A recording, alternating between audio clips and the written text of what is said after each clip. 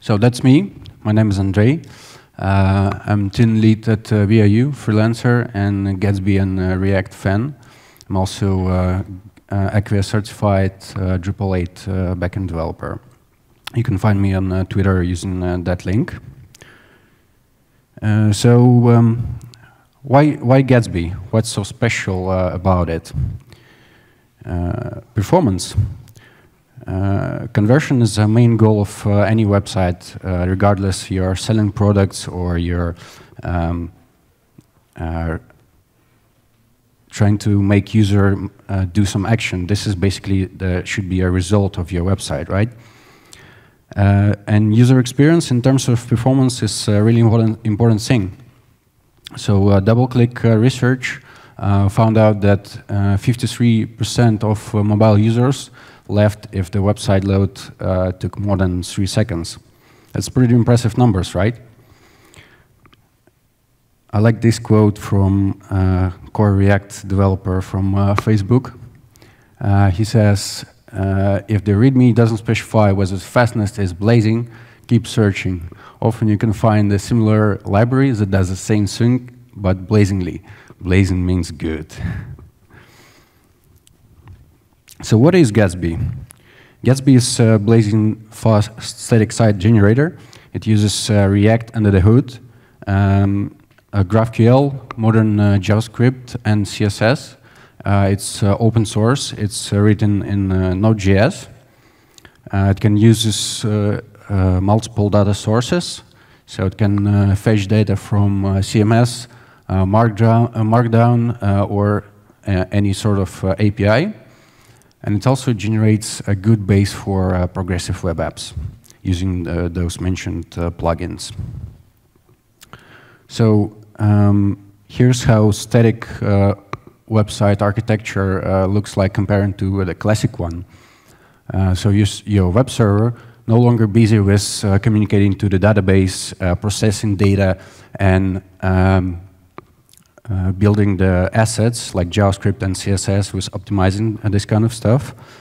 Uh, instead, it just returns you uh, static files uh, right away. So HTML assets, they're just returned. So basically, that means that you're no longer, your web server is no longer um, process anything.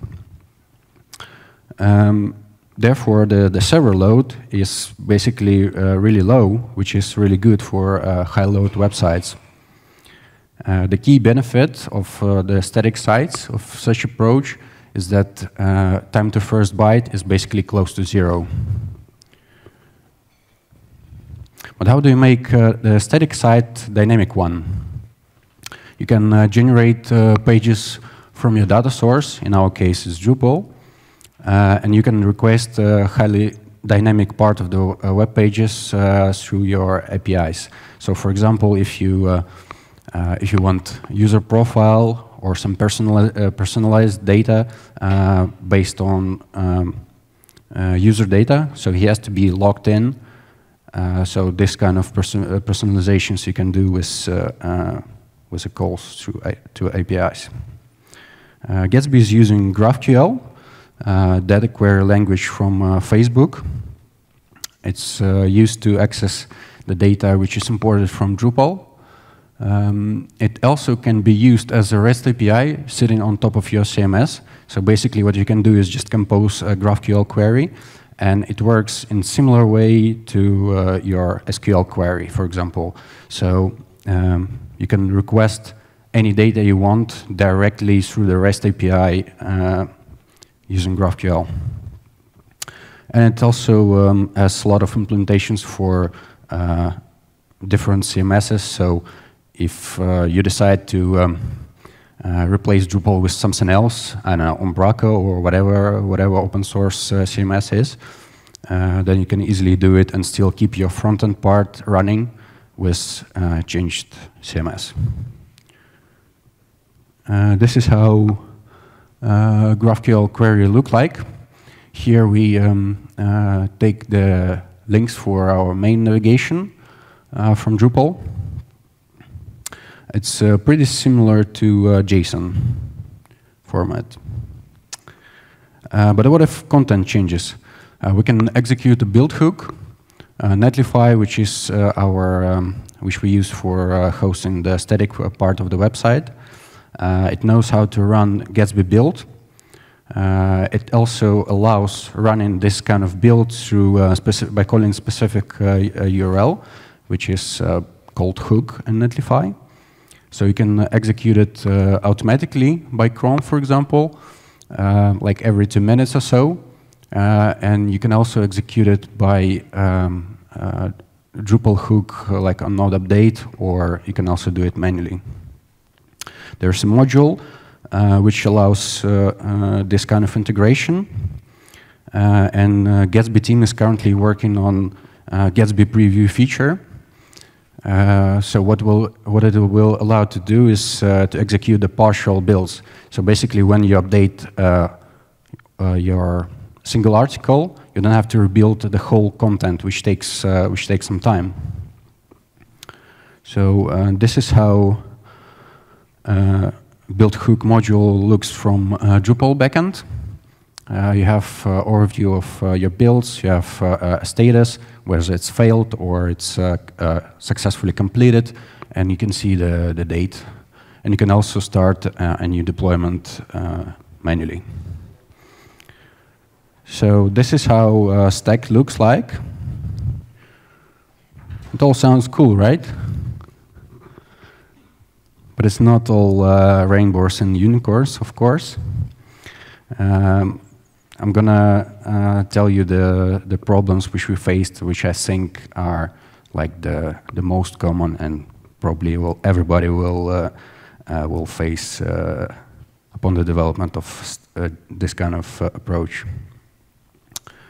Uh, so first, uh, JSON API.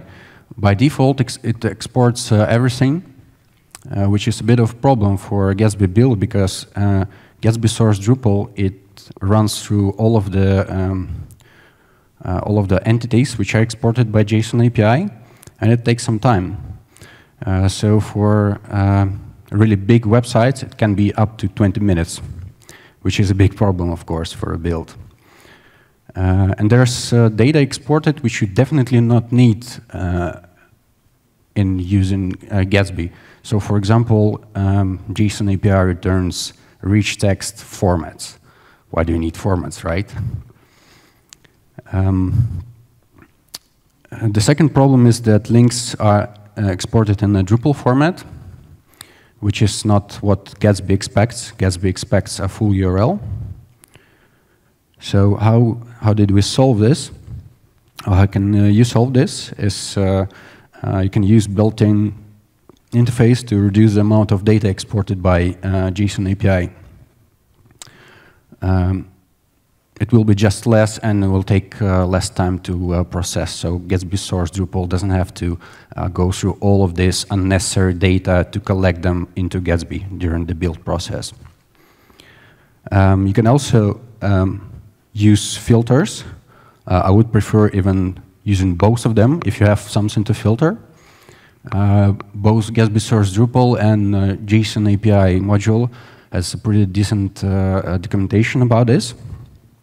So you can uh, look it up, how to use filters. And for the second, for the second problem, you can use URL Enhancer. Um, it's basically a patch for JSON API extras module. So in um, uh, again, in admin interface of JSON API, you can uh, select how to uh, how to export the link. So you can use this enhancer, and, and, then it will return the absolute URL, which can be understood by Gatsby. Um, so Gatsby source Drupal, um, in comparing to JSON API, uh, in combination with JSON API, it cannot fetch um, some resources as anonymous. So JSON API just doesn't expose them. So for example, menus. I don't know why it's done, but menus doesn't seem that much sensitive. But uh, anyways, uh, you cannot access it just directly. So uh, as a solution, you can use uh, module um, in combination with Gatsby Source Drupal versions 3.9.0 and higher. Uh, so in what Key Auth module allows you to do is uh, it allows you to authenticate user based on uh, the key. So you, you generate a key for uh, each uh, for some particular user. Uh, you can give it a, a, a role or something. Um, then you can use this key as a get parameter to your request, or either with um, a header request. And then you will be authenticated uh, to Drupal. So that's how you authenticate uh, Gatsby to Drupal. So I've made a contribution to uh, Gatsby source Drupal, which allows to specify this get request, well, the, the key as, as, a, as a get parameter or the header request. Uh, you can uh, you can place uh, authentication key in your environment file, um, which is well you can push it to the repo, and it's well it's pretty much secure because only Netlify will be executing your build, so only Netlify will know this this key. Uh, so Gatsby is uh, relatively young, and uh, at some point you might spot uh, functionality that it's that is missing in, in Gatsby Core or some of its uh, plugins. So, um, uh, and you might be uh, really needing the, this kind of uh, functionality or feature. So I encourage you to contribute to Gatsby uh, to make it better together. By the way, you will get free swag out of Gatsby. They ship internationally for free. things like a t-shirt, baseball cap, I think it's pretty cool. And uh, in the meantime, however, uh, there might be some situations that you're um, you cannot wait for an approval from Gatsby and uh, wait until your pull request got merged. So in the meantime, npm tip, you can use uh, link module alias to overwrite um, the um, uh, core packages with your forked one. So you fork uh, repo, you made your changes, and then you just create a symlink with uh, this uh, npm package. Another problem is uh, we wanted to uh, use web forms which, which will work with Drupal web forms. and we wanted a really simple solution. So um, uh, when you display the, the web form, you also need to update your cross-request forgery token. Every time the, the web form is displayed, you need to uh, renew your cross-request forgery token to avoid this kind of attacks. And as a solution, um, uh, we found out the uh, React JSON schema form uh, in combination with uh, matching Drupal uh, module. So JSON, React JSON schema form component accepts the form structure in JSON format, which is also generated by the module. And by the way, module also generates a cross-request forgery token for you. The module is still, uh, the Drupal module is still in uh, development. So in, well, of course, any contributions are welcomed. Um, that's a bit similar problem to what we have with links. So uh, Gatsby Image Sharp, uh, which I will mention later, um, it knows how to work with standard Drupal image field, but with media, well, media is uh, still returned in, uh, in an, another format. And again, you can use uh, enhancer for media entities, uh, so it's understood by Gatsby. Yeah, I would like to show you some demo. So this is a, a website which we built for uh, Dutch Hospital Association. This is a pretty uh, uh, simple website, but it's uh, it's it's fast because of uh, mentioned techniques. Um, Gatsby does uh, pretty neat image optimizations. So if I what I mentioned before, the Gatsby Image Sharp plugin, what it does is basically first show you the blurred image uh, and then when the image is there, when it's ready, you, it just automatically switches with uh, normal image. So you see that images were blurred, and now they are replaced with uh, uh nice images. Uh, when the page is loaded, uh, Gatsby also does some prefetching. So if I um, open my network. Not so handy from here. And uh, it tries to prefetch all the links which are in the viewport at the moment. So if I start scrolling down, you see that prefetch requests are appearing in the network. And basically, these pages will be served instantly. So if I go through the website, it's really fast.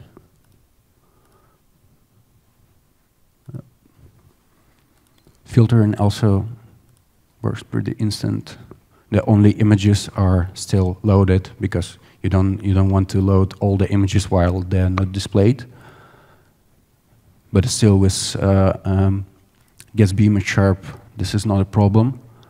We also have uh, a written list functionality, which is a really nice user experience because it works um, without any delay. So you can, uh, from overview, you can mark some um, uh, articles to be added to a written list. And then when you go to written list, they're there. Also instantly delete them from the list. Also search works pretty neat.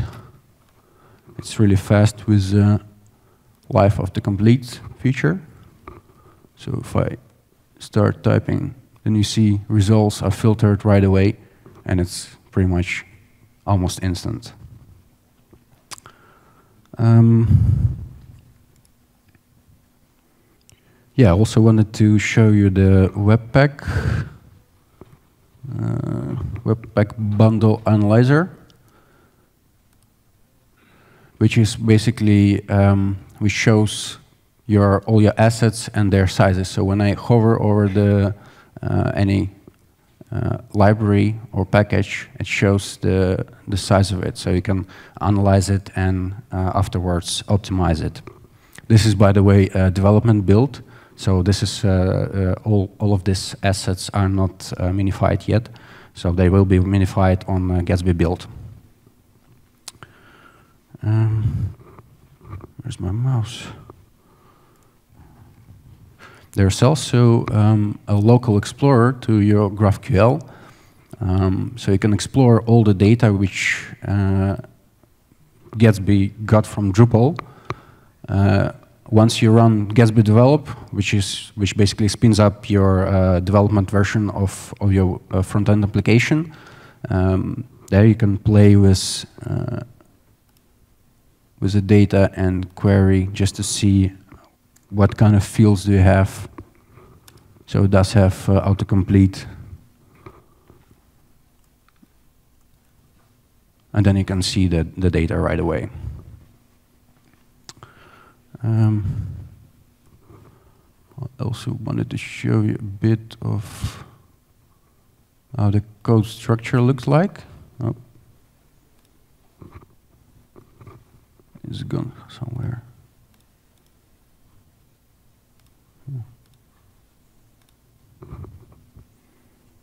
Nice.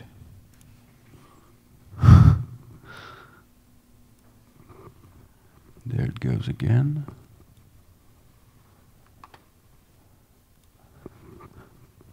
Yeah, better to do it like this.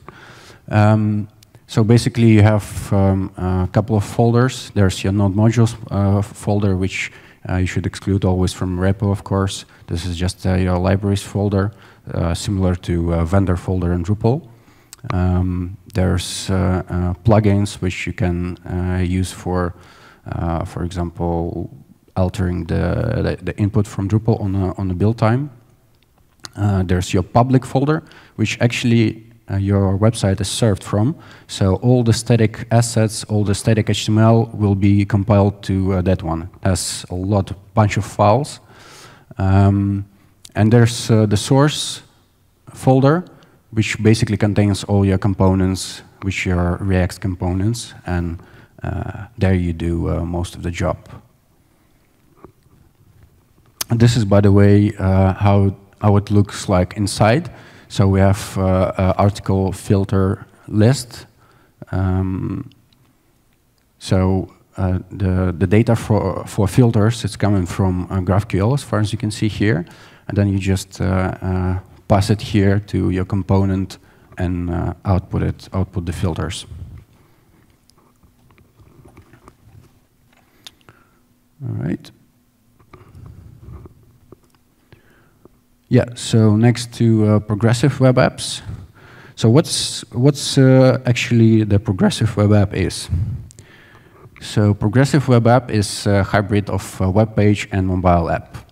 It looks like a, a, a native, native app inside, but it has a reduced set of functionalities. Um, where's my mouse again?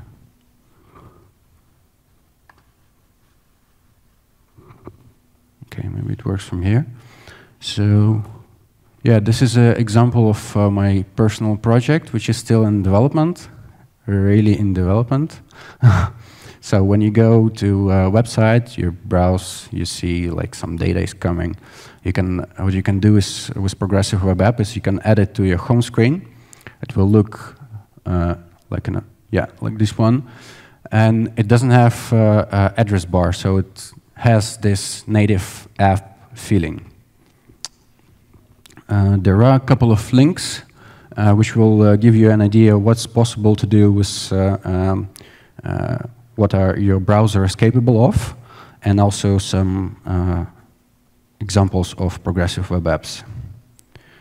So here's how my mobile browser looks like. That's, this is only a part of the list, but it clearly shows that it has a reduced set functionality. So for example, um, iOS doesn't allow to access your contacts and, and SMSs, this, this kind of stuff, uh, for uh, privacy reasons probably. Um, and uh, the right next to it, you can see that uh, vibration uh, vibration feature of your phone. It can be still, uh, well, for example, Chrome is is, is pretty much perfectly supports it. So you can use it uh, uh, in your progressive web apps. So where to start with uh, a progressive web app? You should first create a manifest file, uh, then you implement a service worker, uh, make sure you have uh, all the icons for all the resolutions which you want to support.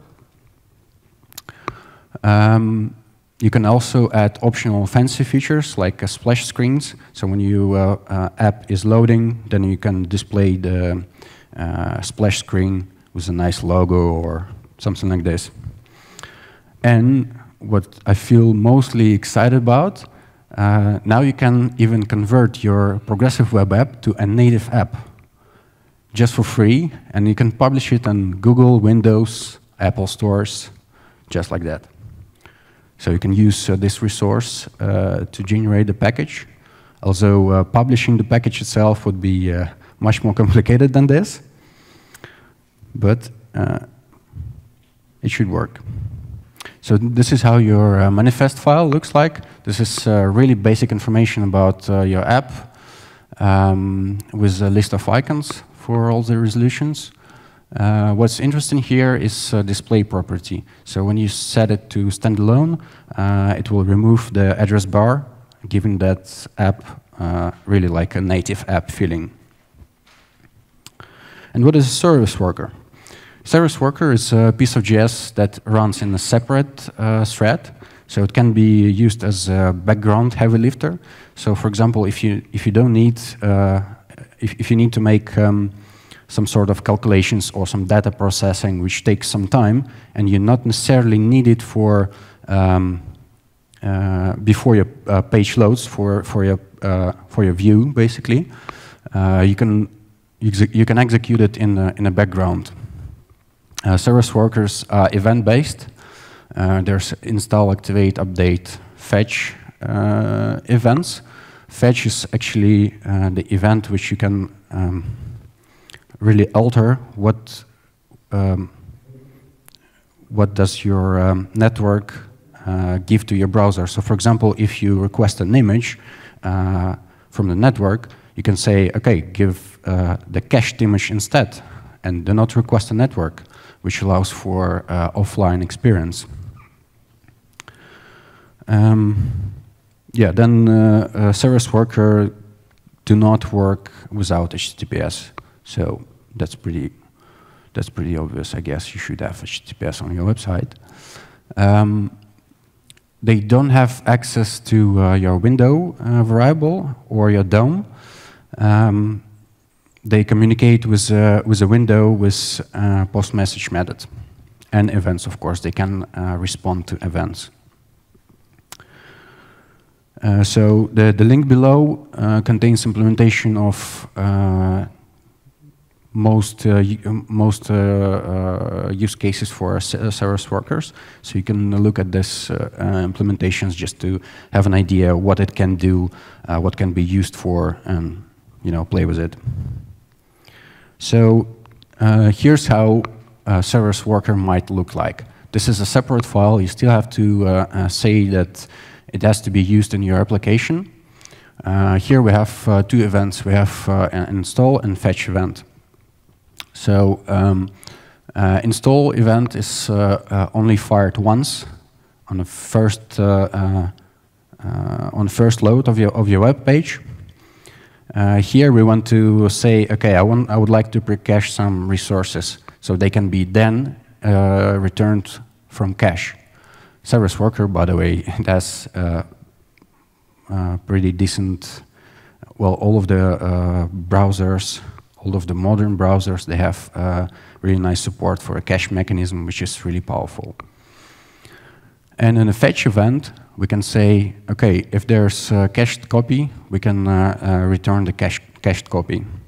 And after we respond with, with what we, we have cached, we can also say, okay, uh, hold on, keep, keep it running until we um, uh, finished with fetching a new version. So basically, what, what happens is first you, you serve your, uh, for example, image out of cache and gets outdated.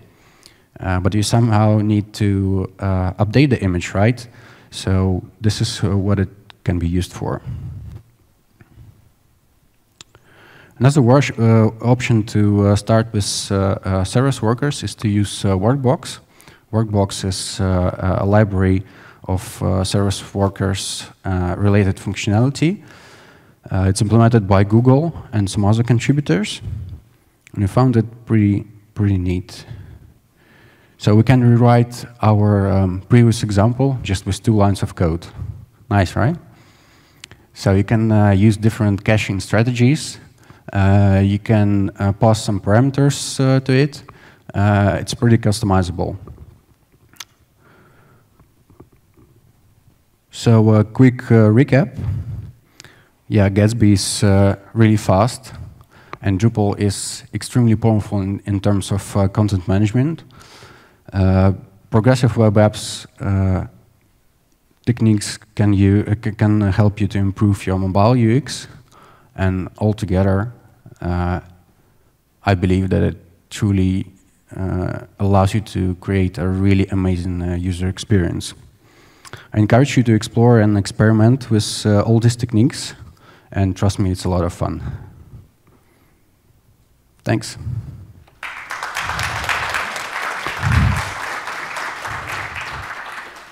I believe we have some time for questions. Yep. Hello? It's a question about search. And uh, did you use client-side search or no, no, it's uh, it's uh, a Solr-based solution. Solr-based solution. Okay. Yeah, it's uh, using the reactive uh, search. Uh, it's React component, which basically every time you you you. Th this is, by the way, this is cloud hosting Solr instance but it works uh, pr pretty well. So, so my understanding, the flow is that content is in Drupal, and content editor decides yeah, how, how, to index the content.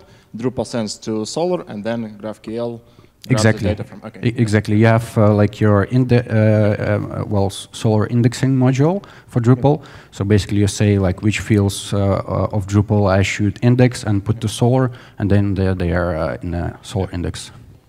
Yeah, and uh, another question, so I apologize if you already mentioned it, and regarding your build flow, per my understanding, editor go to Drupal, updates article, Drupal sends request to Netlify, and Netlify rebuilds the whole uh, website. Exactly, okay. exactly. Yeah, okay. it does it, it does it uh, at the moment, but as, as I mentioned, uh, uh, Gatsby team is working on a yeah. preview feature, which will allow partial builds. So not all the content will be rebuilt, but only the, yeah. the part of it which you modified. Got it. And uh, my understanding, uh, eventually we go end up with just static websites and no interaction between browser and Drupal website. Drupal is nope. only for no, there's uh, they're uh, totally different uh, web servers, uh, and also we we tend to keep it in uh, even in separate repos. Yeah, got it. Okay, thanks. Yep.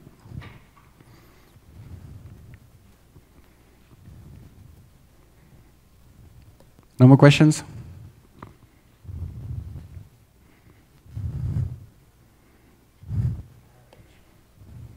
Uh, you mentioned that for mobile experience, uh, you can use progressive web apps. Is there anything you can suggest about the desktop experience? S something similar, like create an application from the web page, which is made like with. Uh, yeah, there there is. Uh, well, basically, if you need um, a desktop app, there's a Electron.js uh, library for it, so you can build. Um, well, one guy built uh, Windows 95 with Electron app. So it, it works pretty slow, but it still has like all the standard uh, Windows 95 uh, features. So you can uh, play play old games. Uh, you can open the Notepad, whatever calculator. So uh, yeah, he wrote it with Electron app. So if you need a desktop app, you can look at something like Electron. And there's I know that um, Electron by default, it's not, not using React, but uh, well, some some contributors they made a package which allows to use React components for building Electron apps as well.